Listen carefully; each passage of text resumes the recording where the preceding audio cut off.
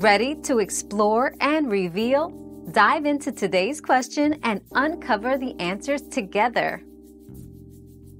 Yes, you can finish reading the Bible in one month by setting a strategic reading plan.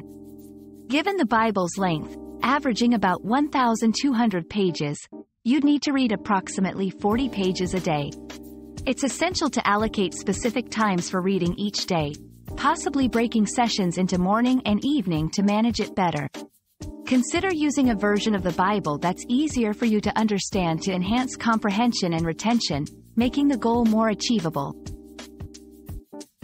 Another mystery solved, but many more await. Keep up with our daily discoveries by subscribing and turning on notifications.